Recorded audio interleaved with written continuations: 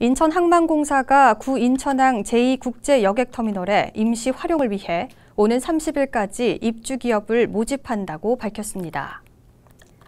대상지는 11,256제곱미터 건물 1개 동과 부지 4791제곱미터로 임대기간은 1년입니다. 현재 건물의 주용도는 운수시설이지만 임차인이 제출한 활용 계획서에 따라 건물 용도를 변경할 수 있습니다. 다만 인근 주민에게 불편을 줄 수 있는 물류, 제조시설 등의 용도는 허용하지 않는다는 방침입니다.